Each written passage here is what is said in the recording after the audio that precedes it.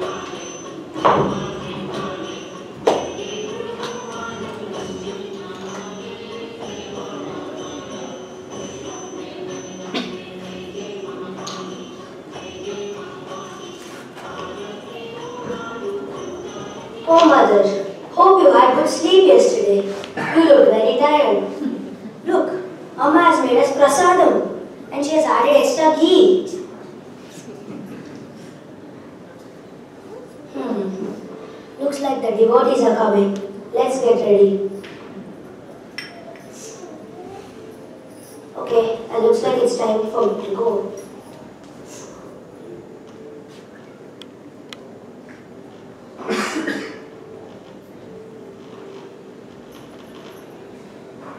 Oh, it's the sun has set, and I think it's time for us to sleep. Mother, you look really tired. Today has been a long day.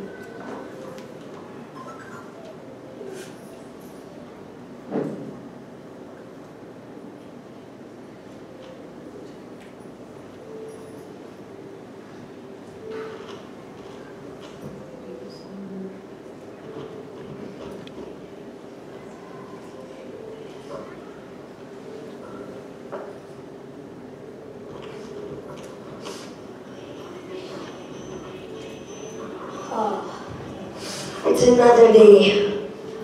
Mother, but yesterday I felt really disturbed.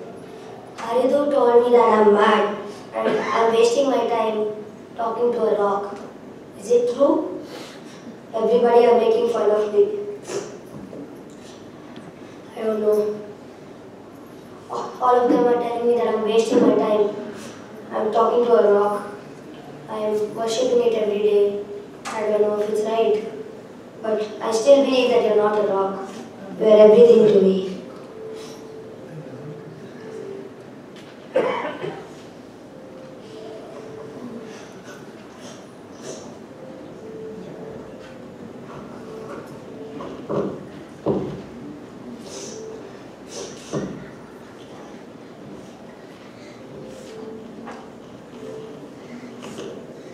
Mother, so many people have attained your darshana. So many people have got wanted. Why is that I've still not got it? Is it that I've not done it right? Is it that I'm not, is it that I'm wrong? The way of my worship? I really don't know. I've prayed for so many years and I've still not got what I wanted. What, mother? Please, please come to me. Is it that, is it that I, I, no, maybe you don't like me? Or, okay, I'm doing it wrong. If so many people have attended, it's my fault, not yours. I have to do it right. But I've done it for so many years. Even if I do it right now, do you think it's, do you think it'll change? No, I don't think so. I think the best thing is to end my life. Mother, it's useless. This body, if I can't see you, what's the use of this body? These eyes, what are the use of these eyes if I can't see you? I'm just going to end my life. Please bless me. I'm going to, I'm going to drown myself in the ocean. Oh, mother, you have given me what I wanted now itself. Now, at least I can die in front of you. There's no need to go any longer. Please, mother. Oh, I'm feeling very dizzy. Oh. oh.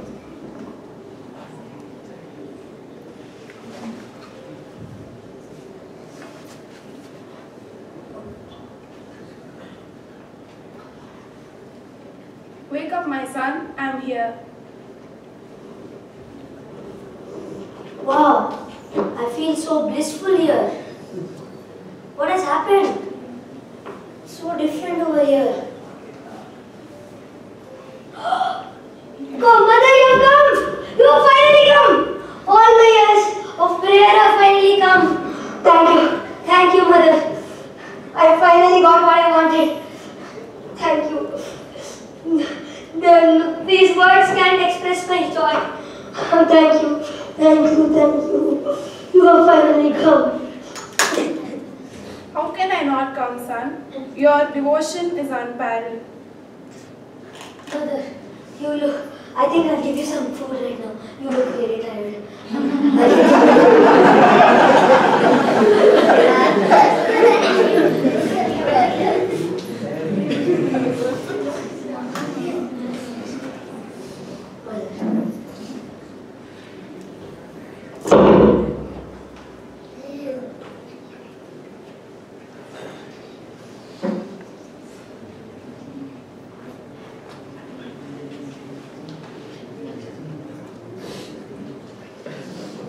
Why is it like that? You taste it then you're offering to the God? Mm, when I was young, my mother would always taste it and then give it to me. She would taste it and make sure if, the, if it was sweet enough or if it was if it had the nice uh, right amount of spice and if it was tasty. That's why she did that. So I'm just, I don't feel it's wrong. I'm just doing what I, what my mother did, used to do to me. Mother, I would like to learn the Vedas and Upanishads. Sure, my son. You will. Thank you. Thank you, Mother. Thank you. Thank you so much.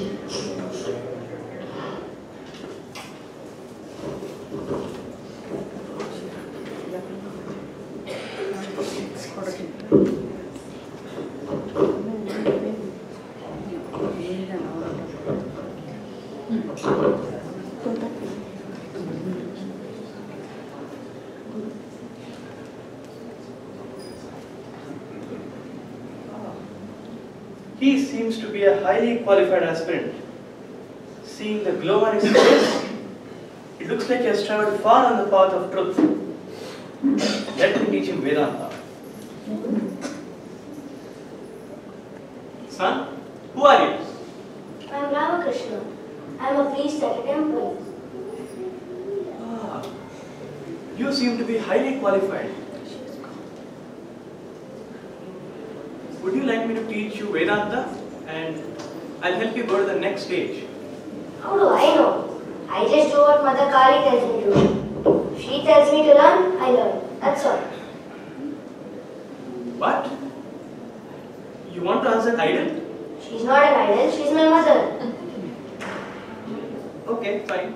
Ask her. But remember, I will not be staying here for long. I'll be staying here only for three days. Don't be late. Okay.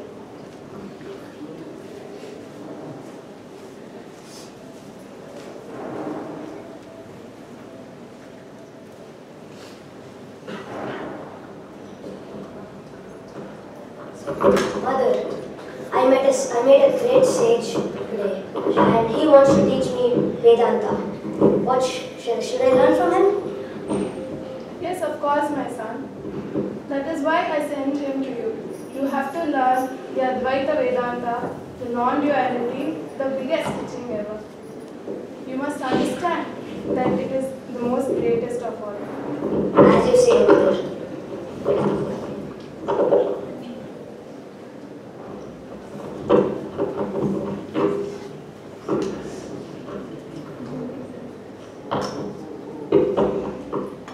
O Divine Master, my mother has allowed me to be to become your disciple. Please accept me as your disciple and initiate me. Sure, my son. But there is one condition. You must drop everything that you think it is yours. Okay? Even your Brahmin card and the dignity of a priest. You must drop it all. All your illusions, all your attachments, everything must be dropped. Only then will you be capable of receiving this knowledge. Okay, but what is there left for me to drop? I have dropped everything. I'm ready to drop anything that you. There is one more thing that you have not dropped yet. You may have dropped the whole world, but you must drop the name of Mother Kali. There is one thing that you must drop. How? Mother Kali, all the sadhana you have done for her is like a boat. Okay? You have to use it to cross the river and reach your destination. Once you have reached your destination, you must drop it. You have no use for it. You should not be attached to it. But it's it's unholy, it's sinful. How can I drop Mother Kali? There is no sin in that. It is not unholy. Mother Kali is a pure imagination of your mind. It is a projection. Okay? You must drop it. I am here for you for three days to help you. I will help you drop it. You must drop it. But I have worshipped her for so long. I know that it's wrong to not listen to your whatever your guru says. Mother has told me to listen to everything that you say. But this is just not possible. Please. No, I can't do this. No, there is nothing that you cannot do. Okay? You can do it. You are very highly award. This is not a big thing. You can drop it. I know you are feeling very disturbed because this is your foundation. You have built your foundation on Mother Kali. You have, you have been projecting her your whole life. Okay? And because of that, she has become a reality. You are able to see her every day. But this foundation must be broken. Because Mother Kali is only a projection. And it should be destroyed. And only then will you be able to go to the next stage. Okay. But first I'll ask Mother.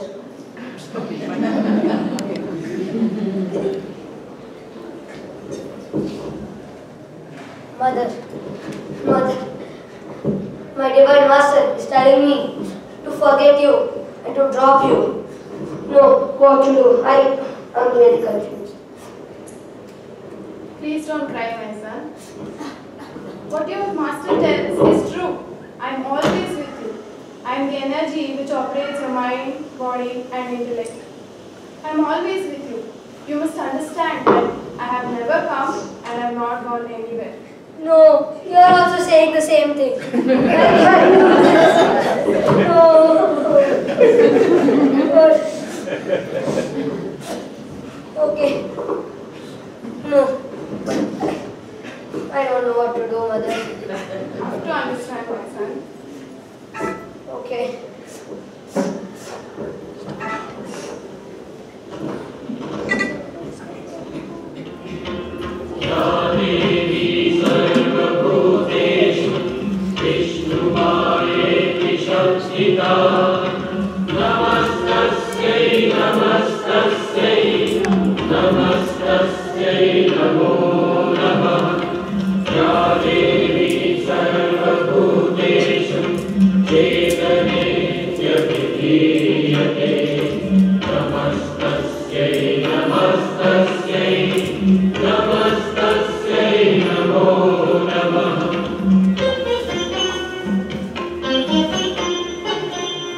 My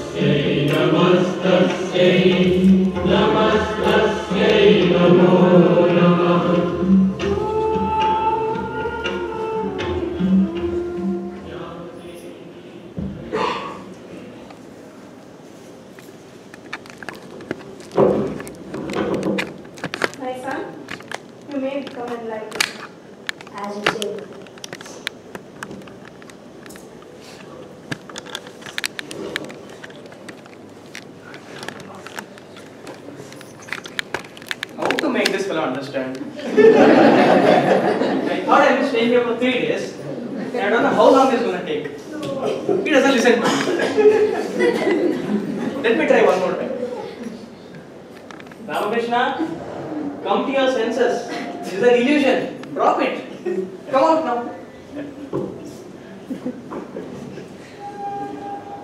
Sit down. I can do anything, but I just can't drop Mother Kali. Please. Listen, Ramakrishna. This is the domain of Maya. It is unreal. You must give it up. The Maya is unreal. Okay, it is a projection of in the consciousness. It is a projection of the mind. It is not real. The mind has the power to create something and get hypnotized by it. Stuck in that. You have to come out of it. Okay? You have to put an effort. You have to come out of it. Or else you'll be stuck there forever. Mana eva manushyanam karanam bandha mokshayoga. This means mind is the cause of both bondage and liberation. Understand the nature of the mind. Understand and come out of it. Okay? Or else you'll be stuck in Maya forever. Now, close your eyes. Listen to me carefully. Listen carefully. Brahman is the only reality. Brahman is ever free, ever shining, and ever illumined, and ever pure. Brahman only exists. Brahman is never born and never dies. Brahman has no death or birth. Brahman has no age. Brahman is all pervading and omnipotent. But Brahman appears to be divided because of Maya. Maya is the magical power of Brahman. Maya can make the impossible possible. Maya can make the undivided Brahman appear to be divided. But in reality, Brahman is one. He is undivided. He has no parts. When a seeker is in samadhi, merged with Brahman, he does not perceive space and time. He goes beyond space and time. Brahman is beyond space, time, or causation. And you are that Brahman. Tat Tvam Asi. You are Brahman. Now repeat after me. Nan. ನಾನೆಂಬುದು ನಾನಲ್ಲ ಈ ದೇಹ ಮನ ಬುದ್ಧಿ ನಾನಲ್ಲ ಸಚ್ಚಿದಾನಂದಾತ್ಮ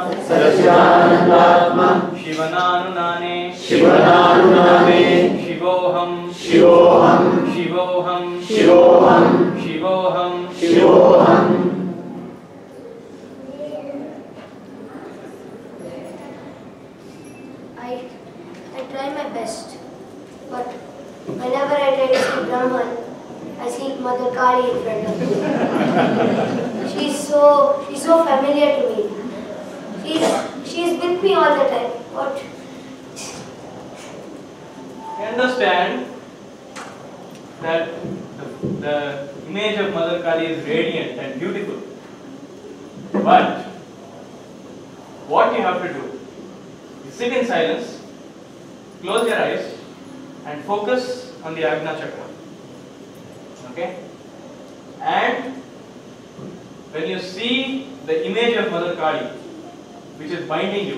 allowing you to go further, you take a sword and cut her.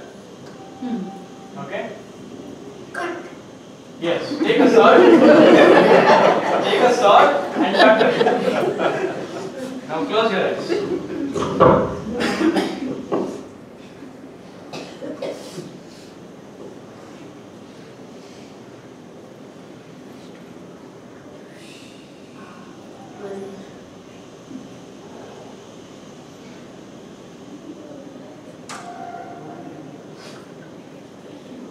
Son, what are you doing? Don't get lost. Take a sword and cut her when she comes. How? Close your eyes. Try again. Don't get lost.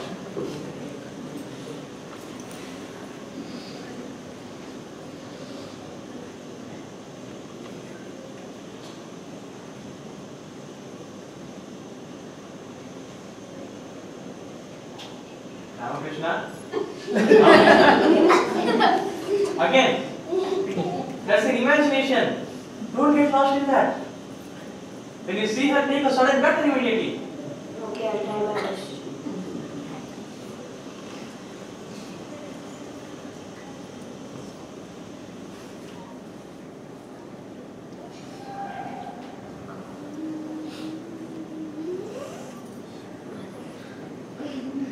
Ramakrishna. what are you doing? But where can I get the sword from? See, you imagine your mother, right? The same way you you can imagine the sword. And remember, this time, you cannot get lost this time. Because when I see that you're lost in mother, I'm going to take a glass piece and make a cut near your Ajna chakra. Okay? And when the blood starts flowing, don't hesitate. Create the sword and cut her. And if you have difficulty in imagining the sword, Mother Kali has a sword, right? You borrow it from her and cut her.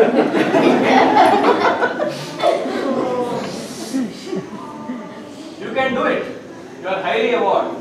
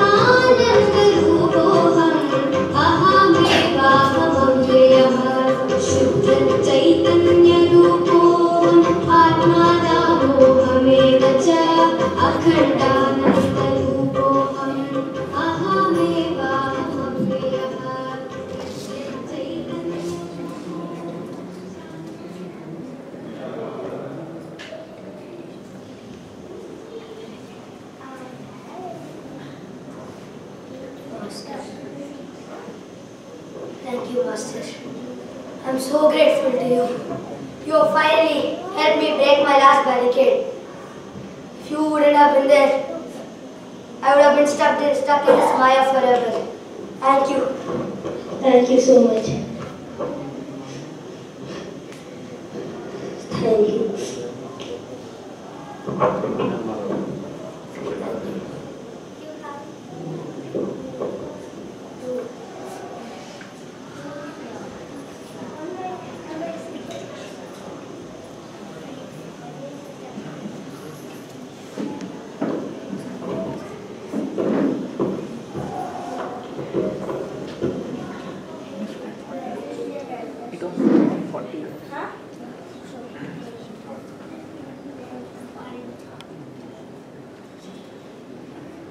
I have met so many gurus, so many saints, and so many scholars, but none of them have answered the question, Have you seen God?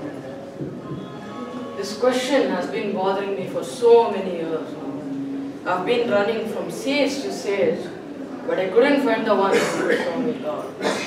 Oh Lord, please help me find my Sadguru who can show me the God.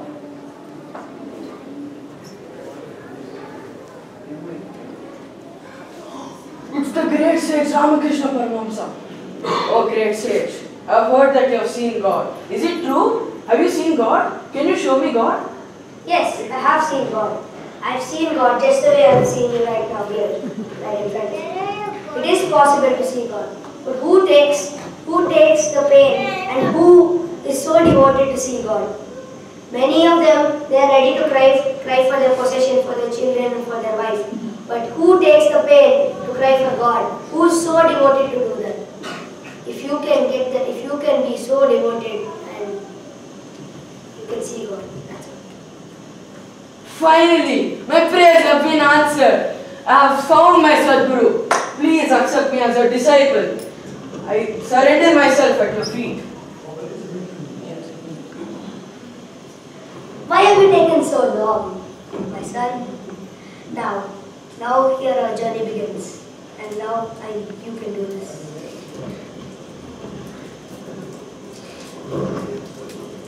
Great. The great city.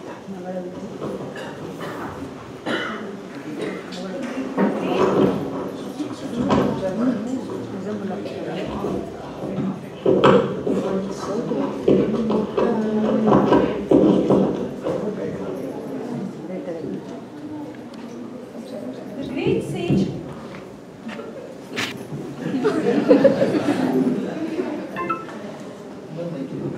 Hello? The great sage of India, Sri Ramakrishna Paramahamsa, was the, was the embodiment of spiritual salvation to the troubled souls from all walks of life. Not only has he attained the highest of spiritual realization, but also under the guidance of various gurus, Ramakrishna completed all 64 sadhanas of tantras, even the most intricate and demanding of them. He undertook practice of all religions with observing all the rituals of that religion in a devout manner. He is the only person in the history of mankind who has tried to attain the truth through the paths of all the religions, every guru that he met. He was a perfect disciple with an attitude of total surrender. A disciple who was ready to risk anything, including the life, to know the truth. He had absolute trust in his guru. Ordinarily, a person reaches the truth by one path. When you reach the summit of the mountain, who bothers about the other paths? But Ramakrishna reached the summit again and again, then descended. He climbed the second path, then a third, and so on. He is the first one who practiced all sadhanas of all religions and attained the same peak in all of them. We bow down to such a great sage.